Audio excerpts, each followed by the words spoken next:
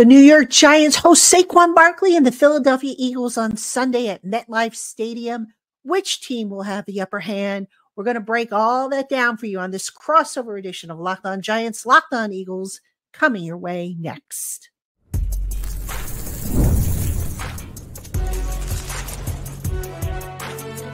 You are Locked On NFL Crossover, part of the Locked On Podcast Network.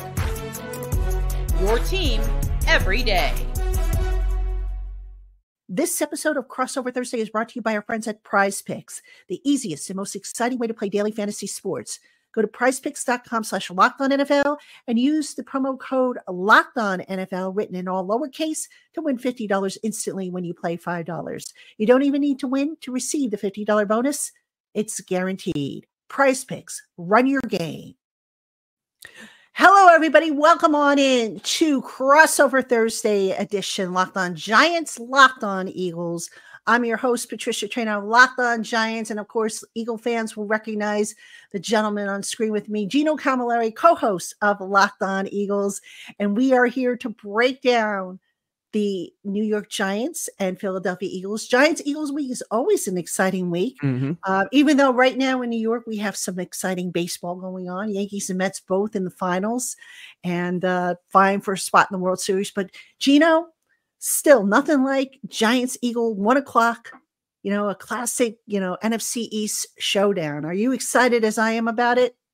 I'm really excited, especially because about this the state of the Eagles right now, they need all the motivation to get this ship righted. And I think those division games, there's a little bit of extra salt and pepper on those games. You know, the first one of the season, too, this has big repercussions. The Giants, even though they have those injuries, they're still in the thick of things. The Eagles, they aren't living up to expectations right now.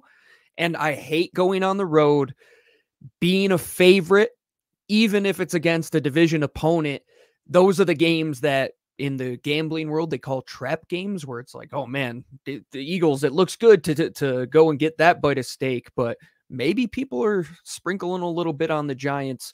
With the injuries on the eagles offensive line with jordan mailata at left tackle going out it's kind of mirroring exactly what's going on in giant land. So injuries they're part of the game but for the philadelphia eagles i think the biggest story right now is can this offense get back on track. The game plan last week against Deshaun Watson from a defensive perspective, Vic Fangio did an excellent job. He sent a lot of pressure. He allowed his cornerbacks that have been very good in press man situations to stay up at the line, press, stay on their guys, stay in phase. Young rookie Quinyen Mitchell is having the defensive rookie of the year performance so far. Darius Slay should come back healthy from injury. The pass rushers are starting to get it going. But the offense, in the words of Lane Johnson, it's constipated. It seems like this thing is stuck in neutral. They're almost stuck in the mud where half of the vehicle's out of the mud, the back half is in the mud, and they're saying, How do we get this thing out? The one thing that has been reliable, it's been running the football. Last week, it had to come through the air. The Browns defense does a really good job stopping the football, but I think all eyes are on this heavyweight matchup, which is Saquon Barkley returning to New York. And he said it today that there's no bad blood between them. I don't believe him. He's that's just talk to the media, and you don't want to put any bulletin board material out there. But I think all eyes are going to be on the first time he goes through the A gap, somebody hits him in the mouth. They get up and start jawing. When does the first personal foul penalty come into play? I think there's going to be a lot of emotions in this game. But at the end of the day, if the Eagles offense doesn't get it going now, the back half of their schedule is a lot more difficult than it is right now. You play the Browns, the Giants. Luckily, it's a banged up team. You're going to see the Bengals soon. You're going to see the Jaguars soon. It starts right now. The offense has to, has to get on track. If Jalen doesn't turn the ball over, they run the football and target those two guys and AJ Brown and DeVonta Smith. That's the formula. But Nick Sirianni runs a literal clown show right now, and we don't know how this thing is going to get back on track. All right, you know, I got to ask you something. Um, and I asked some of the Giant players today in the locker room about this, but I want to get your take. Jalen Hurts has been of late a turnover machine. Mm-hmm. What? Why do you think that is? Is it just is he confused by what he's seeing? Is he is his timing off? What, what do you attribute that to? I don't think it has to go to the football intelligence aspect of it, like breaking down defenses. The one area where you can look at my point that I just said and say, okay, how has he gotten better in that regard? Well, against the Blitz, he's been fantastic. He's taken huge strides year over year to be able to see the field, hit his hot route, get that ball out to his first target. The issue comes when he holds on to the ball. If you look at those interceptions, a lot of them come when he holds onto the ball longer than three seconds because I don't know what it is when you put on a Philadelphia Eagles quarterback uniform. Carson Wentz, the guy before him, Jalen Hurts. Now they turn into this superhero, and the superhero is the Hulk. And with the Hulk, you got to take the good with the bad. There's going to be destruction, but you got to be able to mitigate that destruction. Last week was the first step to that. No turnovers, no fumbles, no interception. They're able to win in that way. You're able to win with Jalen Hurts. The thing with him is that that scale it can be tipped either way. He wants to be a guy that you can win because of, which can force him to push the pace. And then if he does that, there's some throws downfield where you're saying, "Hey, there's two guys on him, Jalen. Let's let's not make that throw. We're in the red zone. We're throwing multiple turnovers in the end zone." I think there is some I don't know if it's the confidence or trust between him and this offense right now, because Kellen Moore is not running his offense in Philadelphia. It's still Nick Sirianni's offense. And I think Jalen just wants to go and make plays out of structure because he doesn't believe in the foundations of it. But this is all a lot of skeptical talk, in, in my opinion. But I truly believe Jalen Hurts, from a football intelligence point of view, I think a lot of people kind of bash him in that regard. And that's not what it is. It's when he wants to be this superhero guy. And you see the Josh Allens of the world. You see these guys that live and die by that element. You have to take the good with the bad, but there's just been so much bad as of late that the good wasn't making up for it. Last week, the good did make up for it. Multiple big throws to your big time wide receivers, a late throw to AJ Brown on a fade route down down the field on second and 11 with 2 minutes to go in the game, which I don't know why that was the call, but Jalen checked into it he had the confidence there. So if they get back on track in regards of how Jalen Hurts is playing, I think this whole thing can start to get back on track. Now, Gino, the Eagles have some injuries, particularly on the offensive side of the ball. Where are you most concerned about these injuries? You know, where, where could this potentially be a downgrade, if you will, in talent? I would definitely say the left tackle position with Jordan Mailata being out with his hamstring injury. The player that they have Stepping up is Fred Johnson, who has been a swing tackle for this team when Lane Johnson was out with a concussion. He came in against the Saints and did a pretty good job. He played that last game before the bye week as well. The thing with Fred, he's a very, very tall player. He's the tallest player on the football team. So guys like Brian Burns that can get low and use that leverage on those long arm type of moves, I think that's going to be where you have to put your attention. How are we going to deal with these stunts when guys like Dexter Lawrence and Brian Burns and the rise of Azeez Ojulari, how are we going to deal with that with Fred Johnson? Are we going to send a lot of help to his side? Something Jeff Stoutland doesn't like to do. He likes to leave those tackles on an island. But to assume that Fred Johnson is going to give you the same level of play that Jordan Mailata would and play it that exact same way, I think would be arrogant for this football team because the Giants' best pass rushing performance, I think you look at last week, and if you look at that tape, you know that Jalen Hurts is going to be under duress. So they have to figure out a way to give Jalen at least that 2.2 to two and a half seconds that he's going to need to counteract that left side of the offensive line. All right, folks, you are watching a special crossover edition Locked On Giants, Locked On Eagles. When we come back, we're going to get caught up with what's going on in the land of the Giants. Don't go anywhere. This episode of Crossover Thursday is brought to you by the Arena Club.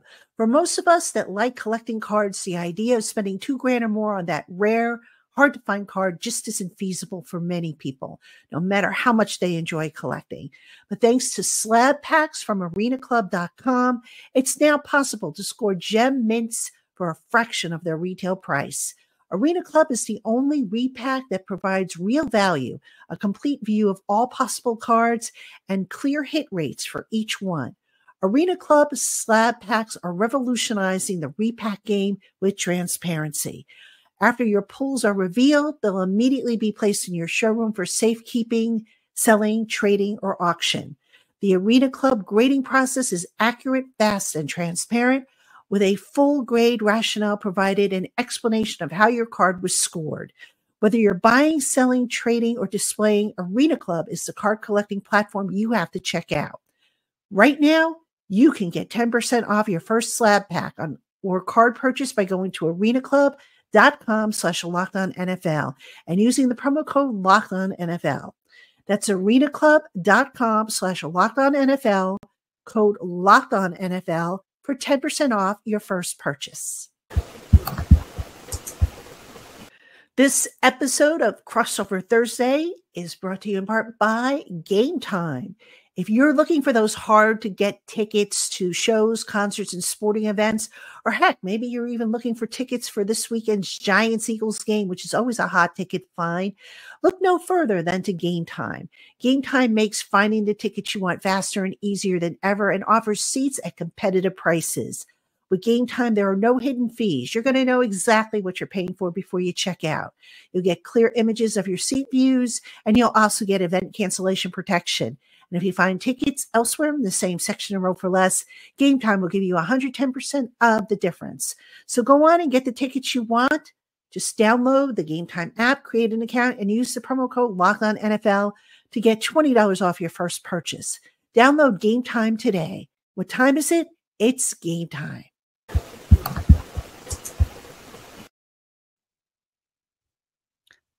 All right, everybody, welcome back to crossover Thursday. Locked on Giants, Locked on Eagles. I'm Patricia Traina of Locked on Giants, and he is Gino Camilleri of Locked on Eagles. And now it's time to get everybody caught up on what's going on in East Rutherford with the New York Giants. And Gino, there's really a couple of stories we can talk about here. And I'm going to start with the biggest story, that being on the offensive side. Left tackle Andrew Thomas suffered a Lisfranc injury, had season ending surgery on Wednesday morning is done for the year, obviously. So now the question becomes how do they try to replace him? And quite honestly, I think Brian Daboll, the head coach of the Giants, said it best. You can't replace an Andrew Thomas because for as good as, you know, for for how Andrew Thomas was playing, and he'll, you know, he was always the first one to say that he's not having the season that he expects of himself.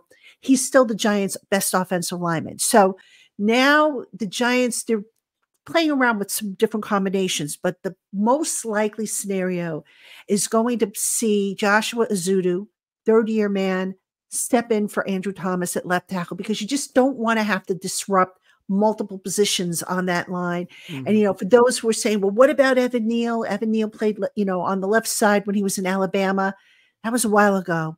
And right now, Evan Neal, because he is so far behind everybody else because of, you know, the fact that he was unable to really practice during the spring, during the summer. I'm not so sure he's going to be an option for the Giants, in, at least for this week. So it's going to be Joshua Ezeudu. That is, you know, my best guess, just reading the tea leaves and talking to people in the locker room. And I know that doesn't exactly calm the nerves of Giant fans because we all know how, you know, shaky Joshua Ezeudu was last year. But in his defense, he was thrown into the mix without having practiced it a single snap during the spring and during the summer last year. So he basically had to step in, play a position at the pro level that he hadn't really done. And that was a recipe for disaster. This mm. year, that is not the case. He's been working at, at tackle, both left and right side, since the spring. Hopefully, is a little better equipped to handle that for the offense, which really, really is going to have a tough test against Sweat and uh, Huff, those two outside linebackers that the Eagles have. I want to stick on this point about the offensive line. If Andrew Thomas were playing, what would be the spot that you would be most worried about? Because we obviously know the elephant in the room currently. What would be out of the other four spots where you're saying we have to prevent this from happening, or Daniel Jones is going to have a tough time operating? Truthfully, Gino, the the pass protection has been pretty good. I mean, okay. that, not a whole lot of.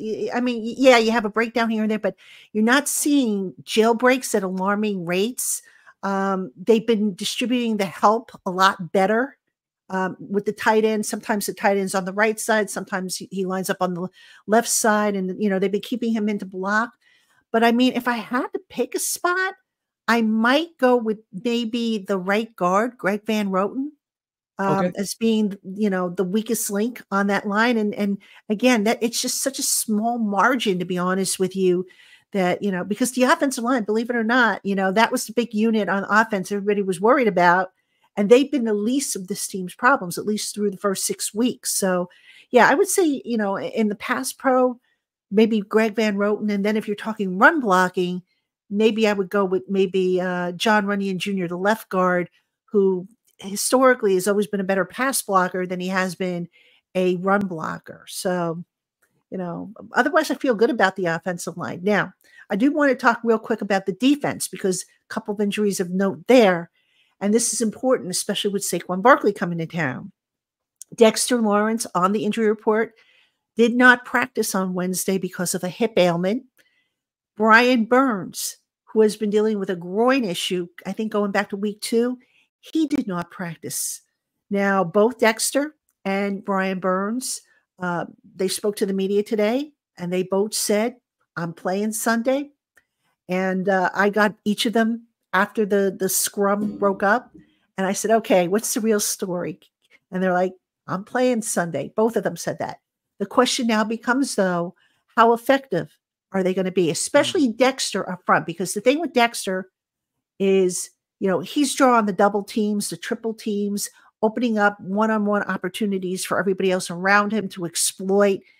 If he is compromised in any way to where he, you know, can be handled with solo blocking, and that's a big if, by the way, um, now it's going to be interesting to see what happens on the back end and if the Giants, you know, how are the run fits going to happen? You know, are they going to be able to penetrate into the backfield, maybe put some heat on Jalen Hurts? Are they going to be able to keep him, in, you know, from killing them with their legs or with his legs rather? So those are the two injuries on defense that I'm most concerned about. Again, both players said they're going to play, but we all know how players are. They say mm. one thing and then the injury report comes out and it's like, oh gosh, they didn't practice the whole week. Are they really going to play? Yeah, we saw that a couple weeks ago in Philadelphia. Lane Johnson and concussion protocol practices all week, but apparently you need to have a padded practice if you are coming back from concussion protocol. He didn't have one, so he ended up being out for two weeks.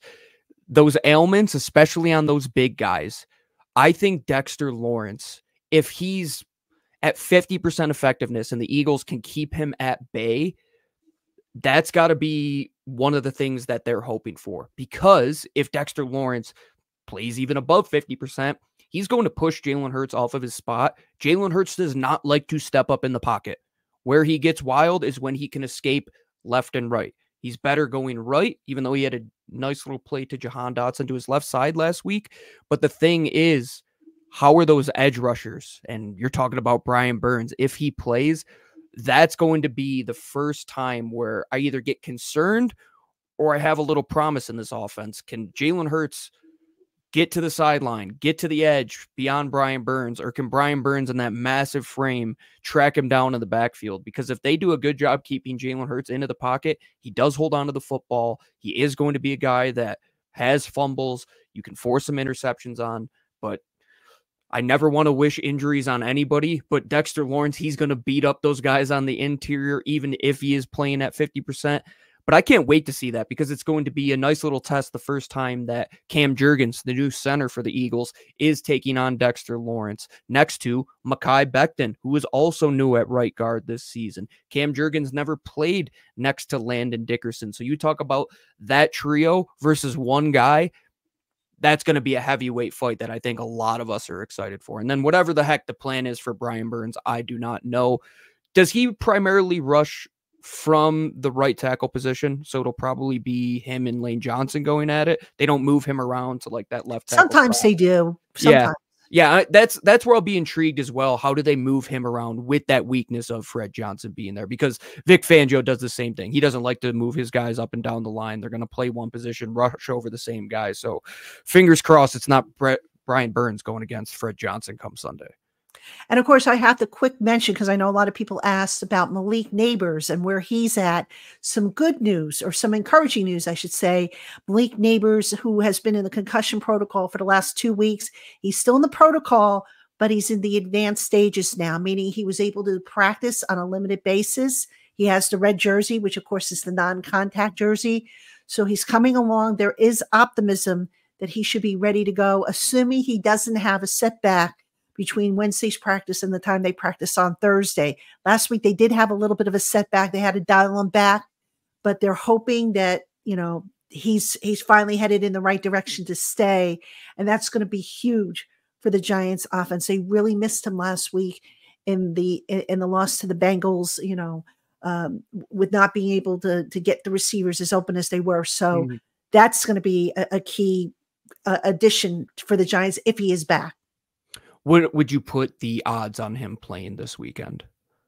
I would say right now, I would give it seventy percent. And if he oh, doesn't okay. have, a, if he doesn't have a setback tomorrow on Thursday, um, I would I would up it to maybe ninety because that that means you know if they have to dial him back, then I get worried.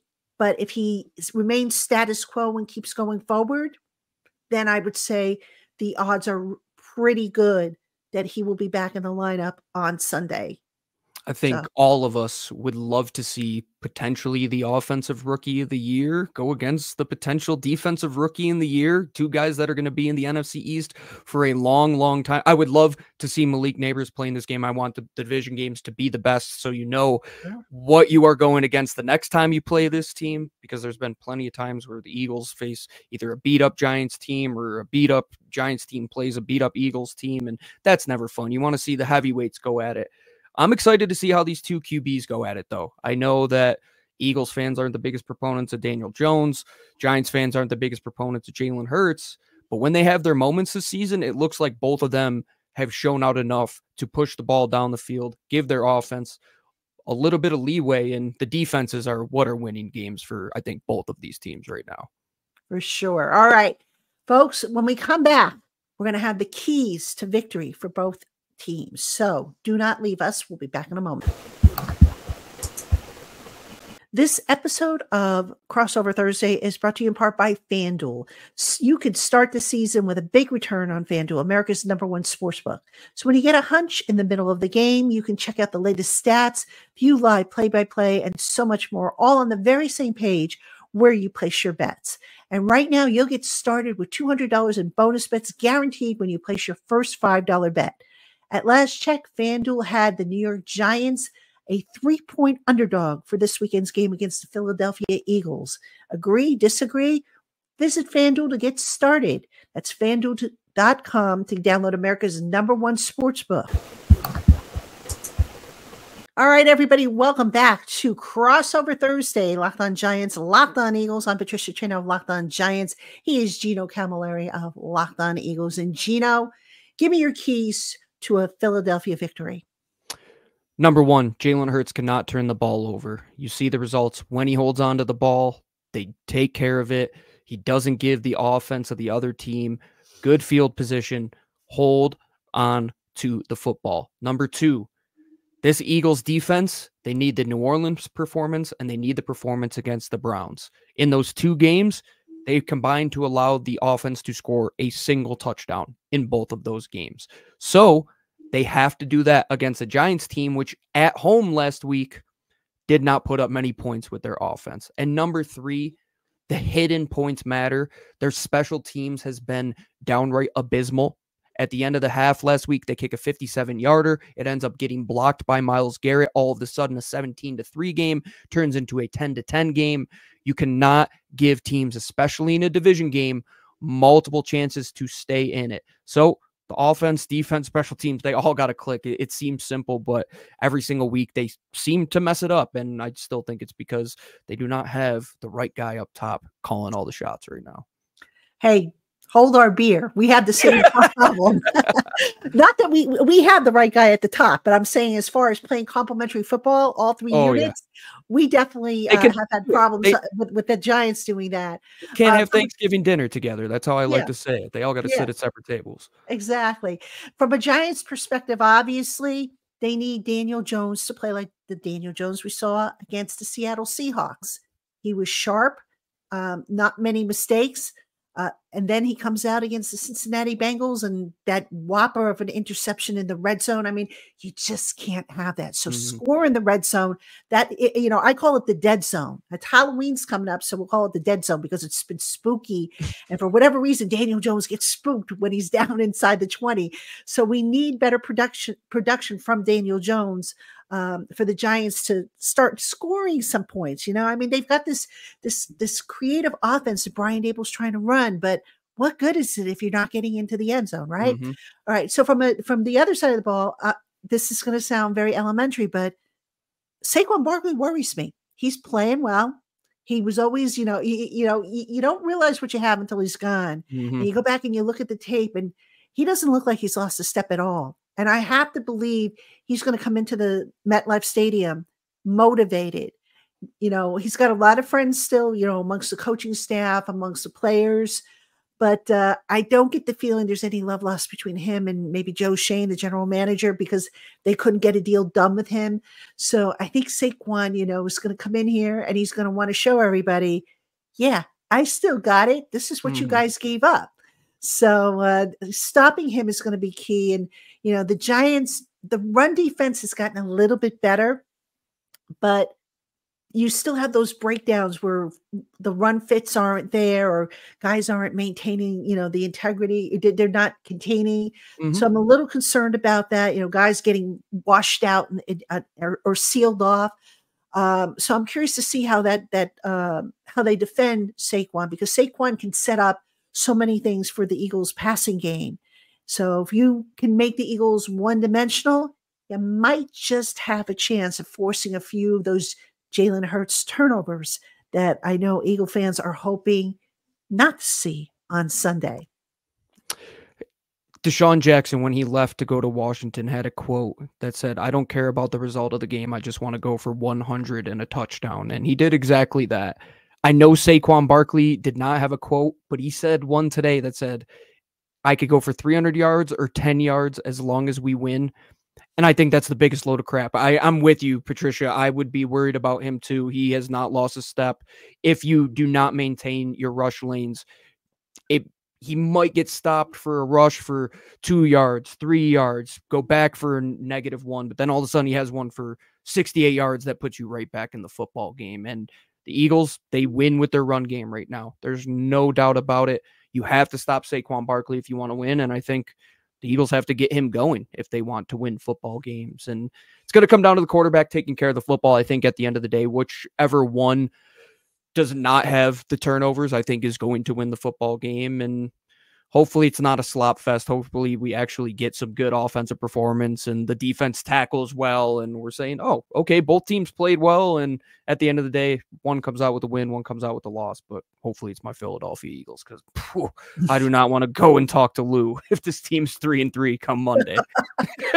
well, I don't have to worry about that since I go solo, but I don't want to have to come on and, and do another downer show like I did on. Oh, Monday. they're the worst. I want to be positive. They are the absolute worst. And I feel bad for my listeners because every week it's like, what's going on? How do we fix this? And it's the same thing, you know, it's like, you know, everybody's back on the get rid of Daniel Jones train mm-hmm. or do this, that. And, you know, at this point, the roster is what it is. I don't know yeah. how much more they can tweak it um, at this point. But uh, yeah, it would not be a good thing for the Giants to lose to the Eagles. They did beat them the last time they met. Mm-hmm.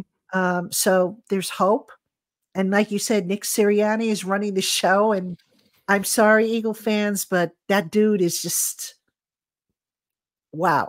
if you want entertainment, the Eagles will provide that. That is for certain. you should be watching this game for the entertainment value alone because Nick Sirianni is going to do something that's going to make you say, "What is this? This guy's a head coach of a football team." But the players are what we support, and I think they have what it takes to go get it done. And I think this is a little bit higher scoring than their last game was, and I think they're going to give the Giants some opportunities to push the football. And if you're over at FanDuel, I think go with the over. I don't know what the points total is right now. I'm sure it's around 46 or 47, but I think a lot of points are going to be scored, especially in a one o'clock window. Neither team is in prime time. They can just operate with Eagles fans and Giants fans watching, nobody else, no stressors.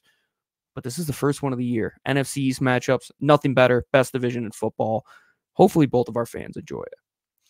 Let's hope for that. All right. That's going to do it for this edition of Crossover Thursday, Locked on Giants, Locked on Eagles. Again, I'm Patricia Traina, Locked on Giants. He's Gino Camilleri, co host of Locked on Eagles. Make sure you keep it on the Locked on Network. I'll have another show for you on Friday. I'm, i think I'm going to have a special guest for you guys. And Gino, of course, will be back with Lou as they continue to break down and get you ready for the big NFC East matchup Giants and Eagles, one o'clock Sunday. We hope uh, you guys enjoyed the football game. And um, I'd like to say go Giants, but you know, the Eagle fans, I'm, I'm sure are going to not appreciate that, but let's just hope for a good game. All right. So, all right. For Gino Camilleri, I'm Patricia Traina. We will see you on our respective shows tomorrow, everybody. Have a good one.